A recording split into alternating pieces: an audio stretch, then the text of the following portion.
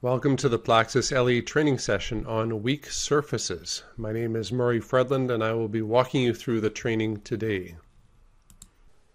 This video will define weak surfaces and the need for them in the Plaxis LE 3D software. We will also cover how to implement them in a numerical model and what effect they have on critical slip surfaces. We will also examine their effect on the searching algorithms to find the critical slip surface. The influence of weak surfaces to augment the shape of a basic slip surface will be discussed. Lastly, we will discuss the interactions between columns and weak surfaces.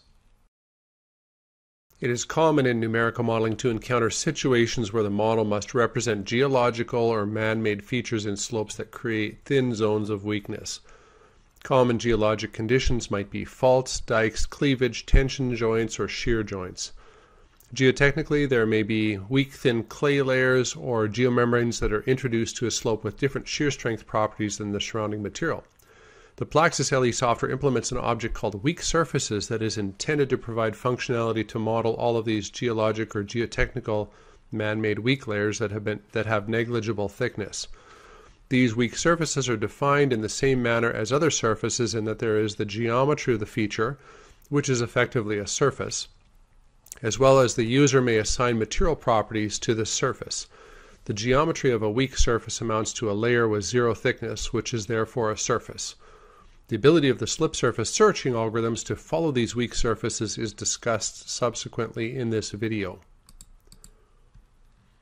There are two methods for implementing weak surfaces in a numerical slope stability model. They depend effectively on whether multiplane analysis is turned on or off.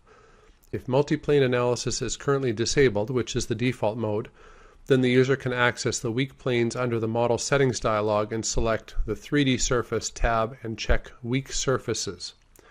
If multiplane analysis is enabled, then the user must proceed to the multiplane analysis tab and check to include weak surfaces. It should be noted that this functionality is only available in the, in the analysis of 3D models. Subsequently, the user must proceed to the slips weak surfaces dialog, and then the geometry and the material properties can be entered for each weak surface. A few things about weak surfaces definitions are that there are no limit to the number of weak surfaces which the user can input. It should also be noted that weak surfaces can be defined as planes in 3D or they can be uneven surfaces that are defined by a mesh or a rectangular grid. Combinations of intersections of weak surfaces can be considered to form a critical slip surface. This work uh, would be done by the searching algorithm and the user can specify the combinations that are explored and by de default all combinations are explored. Under the default searching mode, the search results will produce slip surfaces that are a combination of search method criteria and weak surfaces. The software will automatically recognize if a particular trial slip surface crosses a weak surface and will then try to follow the truncated surface. It's possible that non-ellipsoidal slip surfaces will result from considering weak surfaces in the software. So if an ellipsoidal slip surface is truncated by a weak surface, then the shear resistance will be calculated according to the material selected and assigned to the weak surface. The amount of influence of a weak surface will be related to the area of the slip surface that ends up following the weak surface. Having one or more weak surfaces in a model creates an additional complexity related to searching for a critical slip surface. This is because every time a trial slip surface crosses a weak surface, it's possible that a more critical slip surface can be found by following the weak surface rather than cutting through it. There are different methods for combining weak surfaces with the searching algorithm which may be selected under the Model Settings dialog. By default, the software searches for every combination of one or more augmenting surfaces as well as the current trial slip surface. This method is most likely to find the critical slip surface, but it takes longer than other methods. The one at a time method considers one augmenting surface to be active for each trial slip surface search. It's a faster method, but not as comprehensive. The all at once setting considers that all augmenting surfaces are active for each trial slip surface search. With the all at once method, the uppermost of all weak surfaces is the only one considered if there are more than one weak surface in a model. These settings may be found under the Model Settings dialog under the Advanced tab. It's worth talking briefly about the interaction between the individual columns used in the calculation and weak surfaces.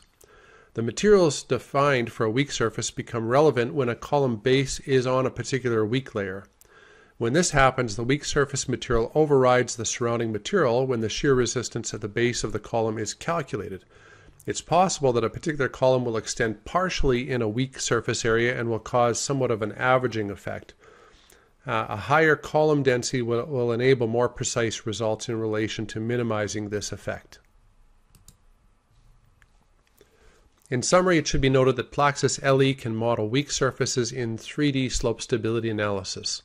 Weak surfaces are comprised of geometry which may be planar or defined by an uneven surface using a mesh or grid, as well as material properties which may be assigned to a weak surface. Weak surfaces can affect slip surfaces, and it's possible that an ellipsoid type of surface will be truncated by a weak surface and result in a more critical sliding mass. So thank you so much for your time, and this concludes the session on the modeling of weak surfaces in the Plaxis LE software.